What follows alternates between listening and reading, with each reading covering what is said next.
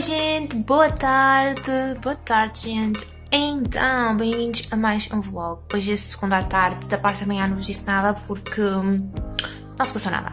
Mas então vamos começar mais um vlog, eu espero que vocês gostem. Uh, aliás, eu sei que vocês, a maior parte, uh, realmente gosta, porque é de, dos vídeos assim que, que, vocês mais gostam de ver vlogs. Independentemente do conteúdo, acho que em geral toda a gente gosta de acompanhar os vlogs, portanto eu fico contente por isso. Vamos iniciar mais um da vida real, da vida diária, da rotina.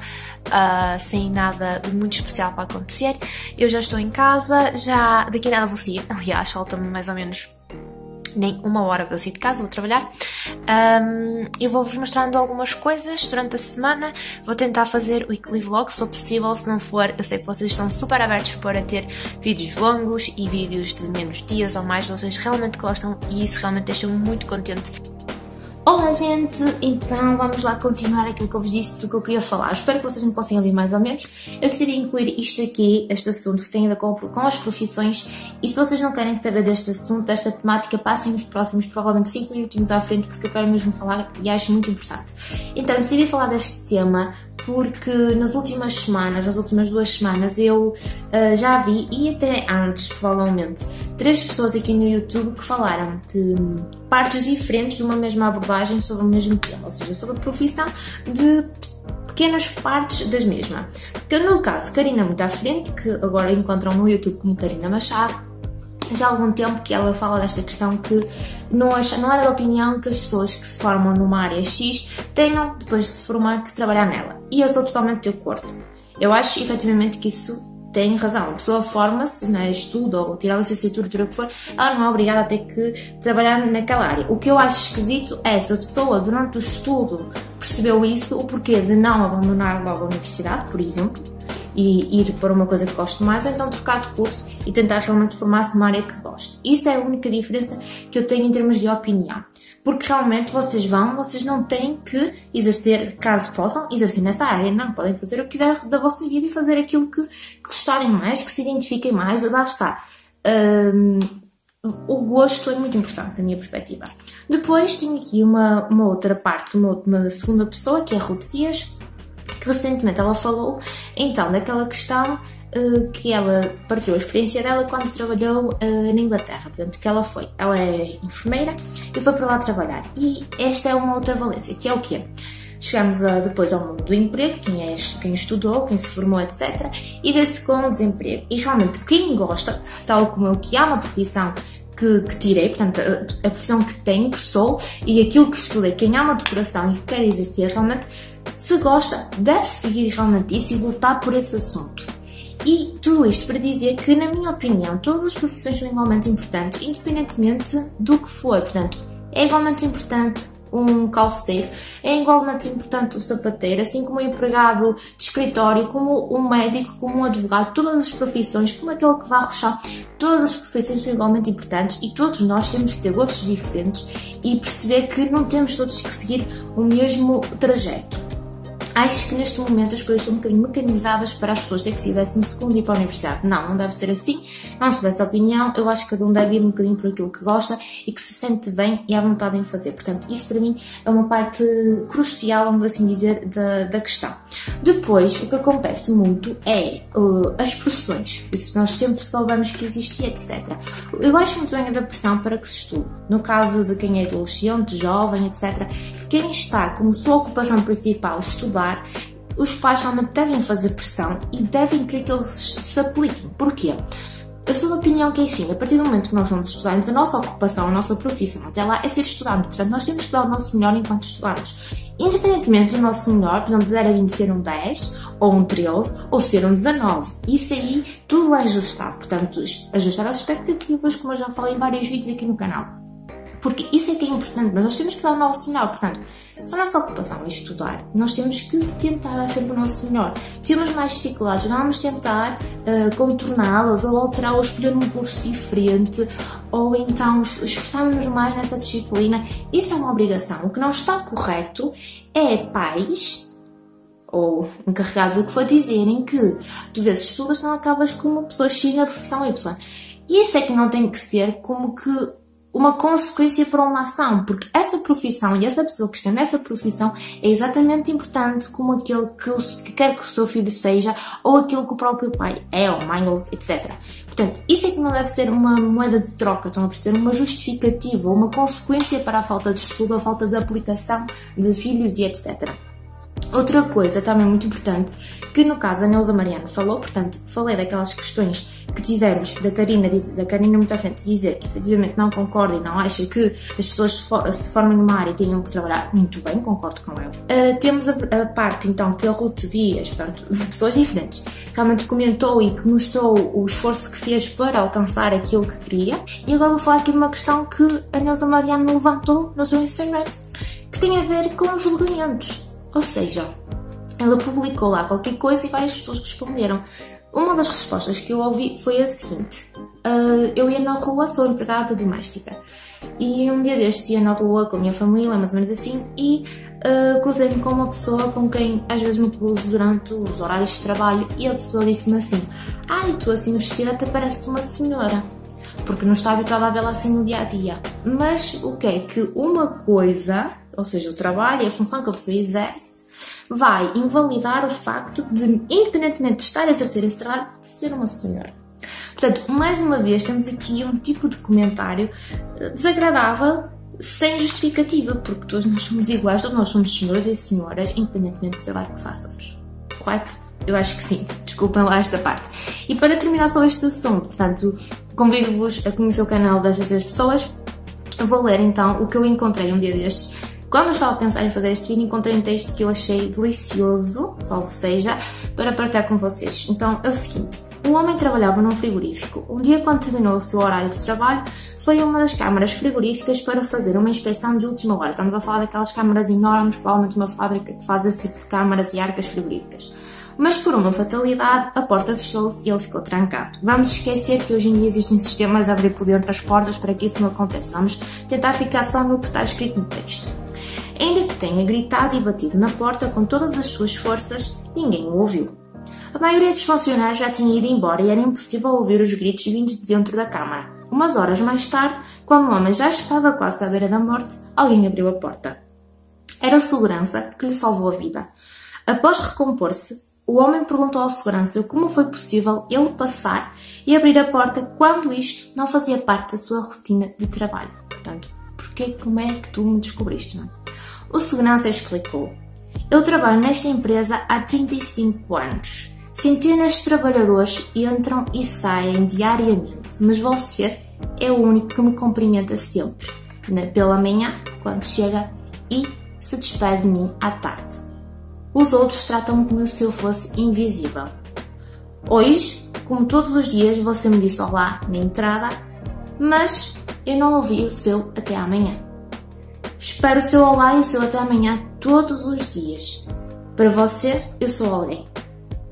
Ao não ouvir a sua despedida, sabia que algo podia ter acontecido. Portanto, eu acho este, este texto extremamente delicioso, extremamente digno de reflexão.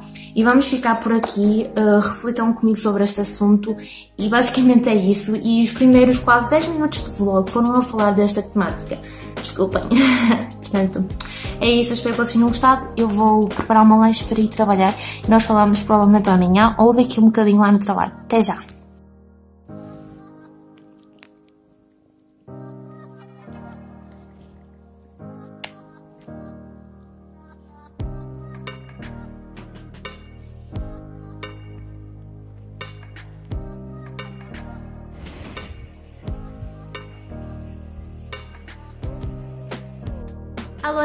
Bom dia. Estou com uma cara tipo toda acabada, estou super vermelha, não entendo, tenho estado assim. Mas pronto, também estou com um bocadinho de pingo, portanto acho que é normal.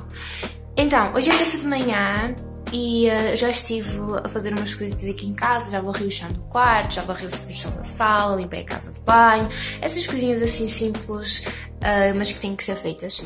E então, pronto, isso já está arrumado. Contudo, esta hora, eu tinha um plano ontem. Ontem fiz um plano, porque é o seguinte: eu hoje à tarde e sexta à tarde não vou trabalhar, porque num dos centros hípicos que eu trabalho, infelizmente, que não é por minha causa, né, porque eu sofro as consequências dessa ação, não vão, não vão dar hipoterapia, então eu não nem não vou trabalhar. Mas então, o meu plano que eu fiz ontem à noite seria da parte da manhã, tipo, hora do almoço incluindo, estão a entender? Queria ver se arrumava a dispensa. E esse era o projeto, só que eu estou com uma preguiça que eu nem sei se vou fazer ou não. Até porque eu queria ver se aproveitava e gravava, tipo, a limpeza super simples, para um vídeo curtinho, mas para vos colocar. Portanto, não sei, eu acho que vou tentar, vou andar com o tablet mesmo, porque eu estou mesmo, tipo, muito não quero, então ao menos se estiver a ver alguma coisa, acaba sempre por uh, ser mais prático, sabem? Tipo, passa mais rápido o tempo. Por isso, é isso, eu vou terminar para já o vlog, terminar, só, ou seja, vou pausar o vlog, porque terminar ainda temos dias, né? Mas eu vou pausar agora o vlog e nós agora falamos mais para a frente, mais logo à tarde, tá bem, gente? Hum. Ai, ai, ai, ai. Estás-me a atacar, cabritinha. Olha, olha.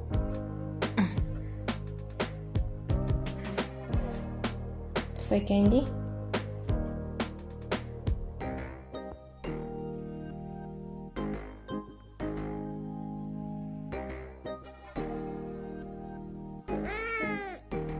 Tá bem, amor. Ai, apanhei-te! hum. Oi, gente. Então, acabei de tomar banho e vou secar agora um bocadinho este cabelo que ele está bastante molhado. Estou assim um bocadinho indisposta, junção assim de várias coisas que não é normal, que ultimamente não, não tenho ficado muito assim, mas pronto, são dores que costumam acontecer e por incrível que pareça acontecem, acontecem quase sempre quando eu estou mais por casa. Não entendo. Uh, mas pronto, hoje, como eu vos disse, era suposto trabalhar, não foi, estou por casa, já fui tratar umas, coisas de casa, fui despejar lixo, essas tretas todas, e eu tinha umas coisas para trabalhar, aliás, até tenho ali na mesa da sala as coisas todas, um, PC e cadernos, manuais, essas coisas todas, mas eu estou assim e o que eu acho que vou fazer é deitar-me no sofá. Uh, não sei se vou dormir ou não, porque está-me a dar sono e eu não percebo porquê, que eu hoje até dormi muito bem e dormi as horas normais, dormi para 8 horas e meia, portanto eu não posso queixar, mas a verdade é que estou assim meio soneca, não entendo, portanto eu vou acho que descansar um bocadinho e a ver se recupera um bocadinho e depois lá para as 5 estiver melhor faço isso. Porque esse trabalho que eu tenho que fazer, eu tenho que fazer até amanhã, mas como eu também tenho amanhã à tarde toda, normalmente eu fico, eu mais a trabalhar assim, portanto acho que vou, caso não faça, não é assim 100% perdido, sabem? Porque o trabalho que eu normalmente faço amanhã à tarde, eu como sexta não vou trabalhar, também tenho tempo, portanto, dos males o menor. Então vou agora secar isto, deitar-me, estou assim mesmo disposta.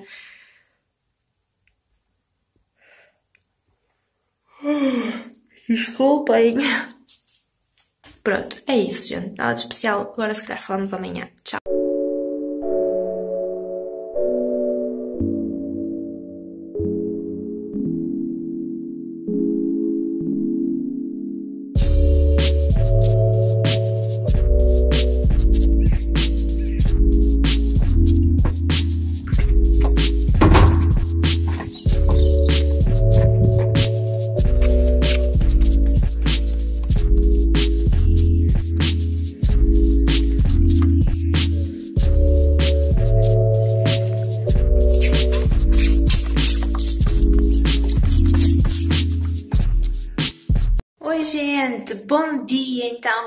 Mais um dia no vlog, já fiz umas coisitas e decidi então agora fazer o meu second macramé, portanto vocês viram que eu tenho um na sala que já tinha feito há algum tempo, mas que só foi colocado agora recentemente, que a minha era, e então eh, como ele ficou mais curto, né, porque na altura pronto, a pessoa ainda estava a aprender, foi o primeiro que fez. E este também é o segundo, portanto vamos dar aqui um desconto. Um, ficou assim um bocadinho mais curto, então eu fiz hoje um bastante mais comprido. Aqui eu sei que não dá para perceber, mas ele até tem que chega de sobra. Só não vou terminar agora, porque eu queria ver se comprava tipo umas miçangas para pôr aqui nesta parte, que acho que ia ficar interessante, ou pelo menos ver se em casa se tem alguma. Mas, portanto, já fiz, escolhi então um vasinho assim cinzento e fiz de três porque a minha linha estava a acabar. O ideal é fazerem com quatro. Portanto, fazerem um, oito fios, dois a dois, portanto, a par. Alô, gente, tem aqui uma encomendazinha que eu fiz. Eu fiz uma compra e vou-vos mostrar daqui a nada.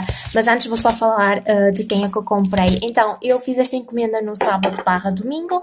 Um, e para quem não sabe, eu acompanho no Instagram a Mónica. Ela teve durante muito tempo o canal no YouTube e uh, também já há algum tempo, portanto, ela deixou de ter. E eu continuo a acompanhar pelas redes sociais, no caso o Instagram. Continuo a vê-la, gosto muito, muito, muito dela. Acho uma pessoa muito fixe. E uh, ela é assim do tempo, e na altura ela, ela às vezes ainda fala, e mesmo a Karina ainda fala a Karina Machado, a Mónica, desse tempo. Uh, e portanto, ela, mais ou menos, acho que pai, há um ano por aí, ela teve, fez uma um, loja online de bijuteria que é Moppy. Uh, e portanto, eu fiz uma encomenda isto. No sábado eu vi um colar que ela estava tipo com uns saldos relâmpago, com umas promoçõezinhas. Pronto, eu vi um colar que eu gostei bastante e um, custou 5,5€. E né, eu, a promoção era que não pagava tipo o porte, sabem? Um correio azul, pronto. E então eu comprei, eu mandei mensagem nesse sábado uh, a perguntar se ainda tinham este colar que eu queria, não sei o quê. Eles responderam, me perguntei os métodos de pagamento, estava para fazer por MBWay, por aquela aplicação, ou por transferência, prefiro por transferência, primeiro eu não tenho a aplicação, segundo eu não gosto muito dessas coisas, e então sou um bocado antiga, e eu mandei vir e portanto, vamos ver aqui. Paguei no domingo numa caixa multibanco, mandei o comprovativo. Na segunda-feira eles enviaram. Esta encomenda chegou-me ontem, só que eu não estava cá. E então não vi. Mas que lindo! Eu já vos vou deixar aqui o Instagram da, da loja, já vos mostro. Em cor de rosa. E eu comprei este, que é, é do meu signo, portanto, eu achei muito giro. Então, é assim um colarzinho. Não sei se vocês conseguem ver muito bem. Tem aqui o quartzo rosa, é um rosinha bem, bem claro. Gosto muito, tem estes dois apliques aqui. E, portanto, a loja para vocês acompanharem é esta aqui. Vocês conseguem ver? Mop Store. Portanto, yeah, minha prendinha chegou. Minha prendinha. Minha comprinha chegou. Bem, gente, adorei estar aqui. Claro que esta camisola não favorece muito, que ela tem assim, é bem chegada ao pescoço.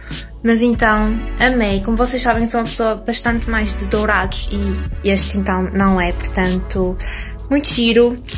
Estão aqui mais uma vez os dados. E, gente, agora falando de assuntos sérios, vou ter que ir outra vez lá acima.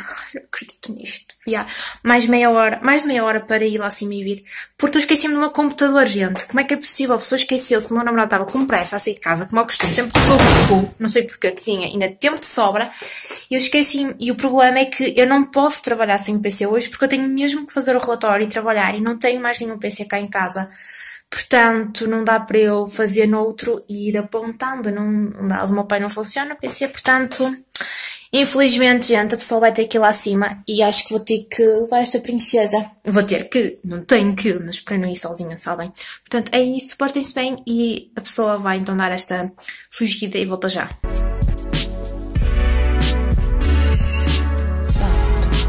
Anda, Nininha, anda, anda. Pronto. Pronto. Vamos, Nina. Vamos. Vamos. Isso. Hum, então, gente, eu só vos vim aqui dizer porque hum, estou quase a terminar aqui o relatório e enquanto eu estava a fazer o relatório respondi aqui nos comentários hum, respondi aqui no YouTube aos comentários que me deixaram no vídeo de favoritos e a Tânia não sei se menina, senhora, whatever, vou-te tratar por tu perguntou como é que eu arranjo as unhas. Eu expliquei lá. Mas ela disse-me por causa de parecer que eu tenho manicure francesa. Então, gente, eu não faço manicure francesa. O que acontece é que neste momento eu tenho as unhas pintadas, mas eu pintei, vou-vos mostrar com o quê? Com um base coat and top coat da Cian, que foi este aqui. Estão a ver que comprei recentemente. E vou-vos pôr em pausa para ir buscar ali o outro e mostrar. E hoje, que normalmente não é este o que eu mostro, já vos mostrei no vlog, acho que passado ou retrasado, portanto, não sei se nos últimos dois vlogs, não sei não, sei que num dos dois últimos vlogs mostrei um da Siena, que eu também gosto muito, que é um rosinha assim, um bocadinho mais escuro, muito simples também. Mas o que eu passei hoje até foi este, clichê, o 19 Donzela. E então as minhas unhas ficam assim, como vocês podem ver. Neste momento, este verniz em si é só mesmo tipo um brilhinho branco, creme, muito clarinho. E o que parece ser a francesa nas minhas unhas é a minha unha natural, gente. Uh, a minha unha quando cresce, portanto, quando ela está para lá do corte, sabem? uh, fica com uma cor bem branquinha à frente, portanto, qualquer verniz que eu coloque seja mais claro, fica a notar, portanto, neste caso parece que tem, mas não tem nada, gente, isto é a minha unha normal. E um, o que acontece, que foi o que eu expliquei, é, quando eu pinto na mesma com o outro, eu, eu escolho cores mais claras, porquê? Porque as uh, minhas unhas uh, sempre, desde sempre, ficam feias rápido, escamam logo. E então, como começa a escamar à frente, sendo um verniz claro, não se nota tanto. E o que vocês veem, então, que se calhar reparam, que deve ter sido que ela reparou, é que a minha ponta fica branca. Eu não faço manicure, que é descasca, e vê-se logo, tipo, a minha unha normal. Portanto, neste momento, eu só apliquei aqueles dois vernizes e pronto. E como podem ver, eu não faço cutículas, não, eh, a pessoa não tem assim muitos cuidados com as unhas. Por isso é que eu não vou fazer vídeo sobre isso, porque eu não tenho mesmo cuidado. O que eu faço é, acetona, sabem, limar um bocadinho a unha e colocar assim dois vernizes, está feito. Mas pronto, era só para vos responder a isso. Eu agora também estou aqui mesmo a terminar isto, estou contente porque eu estou com dor de cabeça. Sim, outra vez. Eu devo andar a comer alguma coisa que me está a fazer mal ou assim, porque minha cabeça ontem e hoje não está nada bem. Mas hum, já estou mesmo no final, já escrevi aquilo que queria escrever, agora é só copiar uns parâmetros daqui para anotar aqui e está feito, está a andar. Portanto, é isso, gente. Nós falamos agora amanhã, provavelmente, porque a pessoa vai estar cansada para falar mais. Mas é isso.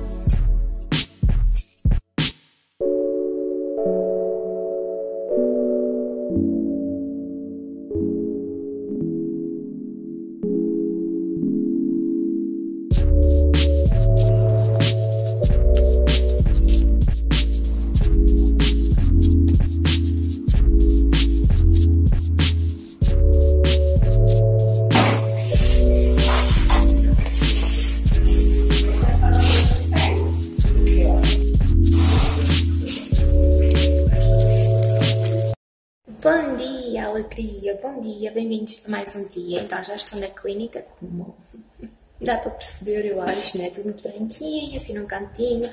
Vou-vos só mostrar o meu look. Então hoje eu optei por este vestido primeiro, que já não pegava nele pai desde dezembro. Todo meio calça transparente já, portanto esperemos que não venha assim muito ventania, muito vento. Com a minha sapatilha, porque a pessoa não sabe conduzir com saltos. Esqueçam, não consigo. E mesmo certo tipo de calçado que não seja tipo sapatilha, que seja tipo certas botas, não são todas, algumas baixas eu consigo, mas outras não consigo, gente. Eu tenho vergonha, mas não consigo. E depois tenho preguiça de chegar ao local e trocar de sapatos, sabem? Então raramente faço isso, só sou mesmo muito importante. Mas pronto, estou com este casaco habitual, estou com o meu colar dourado porque casaco aqui tem dourado, mas a pessoa tem os botões de casaco prateados, tipo, I don't care. Os meus brincos também são os que tenho andado nos últimos tempos, tem um coraçãozinho preto no meio e dourado à volta, e é isso.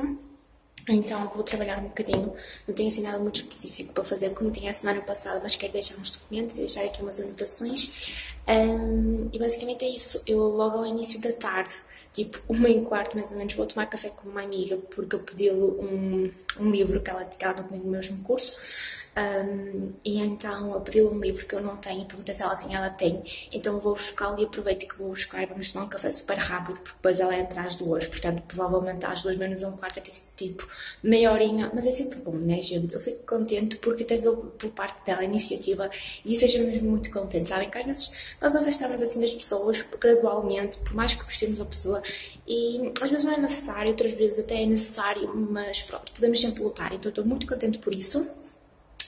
E basicamente é isso, gente. O meu pequeno almoço, vocês viram. E o dia está bonito, como eu gosto. E bora lá. Nós agora falamos, olhar só mais logo. Porque depois também vou terminar o vlog hoje, porque não há nada assim de especial para, para vos mostrar. O tempo está a chegar aí. E assim, provavelmente vocês, sábado, têm este vlog no ar, né? Portanto, é isso, gente.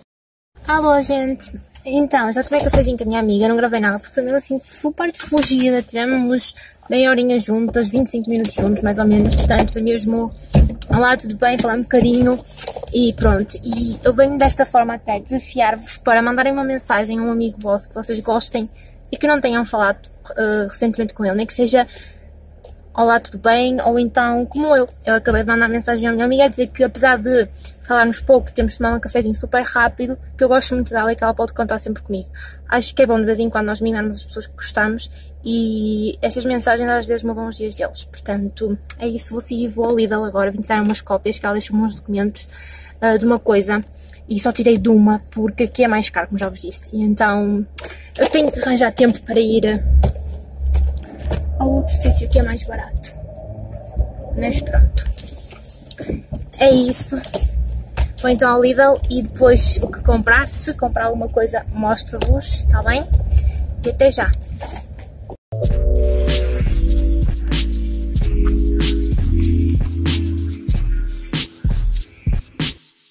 Alô, gente, não sei se me conseguem ver, está mais ou menos. Está vindo tomar cafezinho. Sim, outra pessoa tomou café ainda há pouco tempo, mas pronto, eu gosto de ir aqui, eu vou comprar pão também. Fui ao Lidl, comprei uma massa que estava com, com etiqueta laranja, sem glúten. Aproveitar para ficar em casa, não tenho muito laranja, eu acho, mas eu gosto de vez em quando de comprar esses produtos. Depois comprei um perfume para o meu pai que estava em promoção daquele número 1. Queria 19 dia de pai, depois não compro mais qualquer coisa, mas assim já fico uma das coisas compradas e mesmo que num dia, por exemplo, compre uma coisa mais cara e que me queira dar, no dia 20 ele vai fazer 18 anos de namoro, portanto é sempre uma altura boa para dar o perfume. Mas pronto, basicamente é isso. Uh, mais coisas. Ah, vim agora por uma zona que eu não costumo vir. Que é hum, a parte do centro de uma das freguesias da minha terra. E eu vim porque fui com esperança de ver algum papel a dizer aluga-se ou assim. Porque nós queríamos, como já vos comentei, mudar para lá mas as rendas estão mesmo muito caras, tipo as coisas em condições e, assim, tipo um T2 neste momento está a 400 euros, quando na realidade há, sei lá, uns 8 anos atrás, 5 anos atrás, o mesmo imóvel custava, custava de renda 200, 180, tipo, estão a ver a cena. Pode logo assim em pouquíssimo tempo. E pronto, e basicamente foi isso. E um, eu também fico um bocado desapontada porque há senhorias que não investem em nada. Devem ter tipo as coisas há 20 ou 40 anos e tipo não fazem pinturas, não fazem nada. Nós, do ano passado para cá, que foi quando começámos a ver, ainda só vimos três casas. A primeira era um barraco, tipo, nem vale a pena comentar, era um autêntico barraco. Uh, a segunda estava muito jeitosa para quem fosse alugar, era ótimo, só que o que nós tínhamos neste momento era melhor, compensávamos mais, porque a renda era mais cara. E uh, a outra casa que foi até vos mostrei no blog, que tinha postigos, sabem? Uh, o quarto tinha um postigo, não era janela, o outro quarto não, tinha luz natural um, sem pequenas coisas. Então nós optamos por ficar onde estávamos e a renda era mais barata. E tipo, eu acho que aí a pessoa também perdeu, porque ela tinha muito espaço no início da porta e uma vez que ao lado tinha uma loja de karaté e aquilo tipo.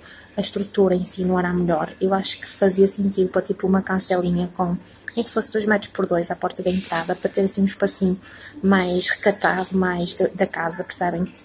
Porque de resto era tudo novo, assim, ali parecia ser 5 estrelas, parecia ser uma pessoa que investia nas coisas, entendem? Pronto, uma outra coisa totalmente diferente do, da última casa que fomos ver, a terceira, que era uma casa velha, estava cheia de bolor, mofo, tipo, vocês veem que isso enerva-me muito, eu estou sempre a limpar os tetos por causa disso, e acho inadmissível uma pessoa ir ver uma casa e isso não ser cuidado. A casa de banho era pequeníssima, e independentemente de ser mais pequena que a nossa, por exemplo, tinha um polivar, portanto um chuveiro, não dos tudo cheio de ferrugem, gente, tudo beira, sanita toda beira, meia partida, tipo coisas horríveis assim. E não parecia, não, não, não mostrou ser uma pessoa que, ai, nós vamos dar uma reformulação aqui. Não, nada, tipo, a pessoa ia sair e no máximo ia pintar uma parede que estava lá vermelha de um, de um caseiro anterior, simplesmente isso, mais nada. Então fiquei um bocado desapontada porque as coisas são muito complicadas. Eu gostava muito de comprar uma casa, mas neste momento não é possível devido à minha profissão, devido ao trabalho que faço portanto vou ter que aguardar uns tempos. Mas pronto, basicamente é isso. Uh, obrigada aos comentários que me deixam nos vídeos para ajudar. Obrigada à menina que comentou que um dia que troco para pôr um termoacumulador, mas como sabes, ou se não sabes, neste momento nós estamos em casa alugada, é esquentador, obviamente, e, uh, e pronto, basicamente é isso. Um, Deixem comentários sobre este assunto, se vocês pediram um empréstimo, se tinham dinheirinho para comprar a vossa habitação, se estão em casas alugadas, porque neste momento está mesmo muito caro. E se for uma opção boa, tipo um apartamento na minha zona, vende rápido e a qualquer momento uma pessoa até, até o vende, mesmo que esteja com um empréstimo e se livra da situação, porque assim as rendas estão muito caras e mais vale ter um empréstimo e pagar em porque acaba por compensar mais tendo uma habitação boa do que alugar uma habitação boa. Portanto, imaginem, nem que se pague 300 ou 400 euros em mim, ou mais um bocadinho, num ano, mais, mais o valor de uma renda. Imaginem, uma renda neste momento está tipo lá, 400, 300 e pouco para uma coisa boa. Compensa mais do que pagar, pagar a prestação e pagar isso do que propriamente estar a arrendar, né? E é uma coisa que pode ser sempre vossa no final.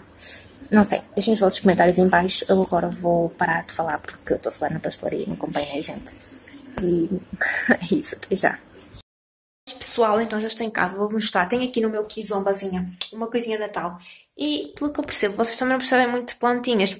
Porquê? Porque ninguém me deu sugestões de como ressuscitar plantas.